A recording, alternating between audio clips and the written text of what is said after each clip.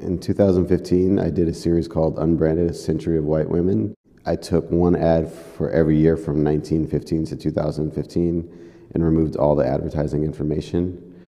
I did this because I really wanted to kind of track quote unquote whiteness in the United States over the course of the century, but recognizing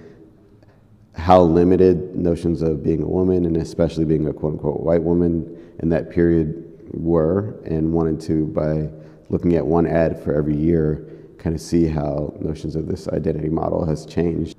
One of the things I found most exciting in that project was actually seeing how advertising changed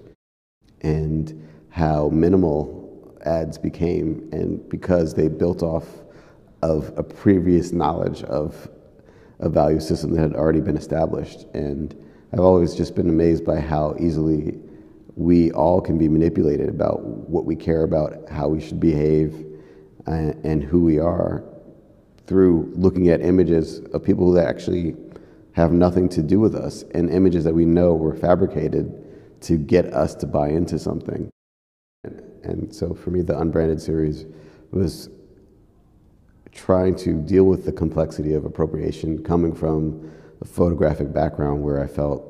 that appropriation was stealing and then beginning to recognize that there's sometimes the only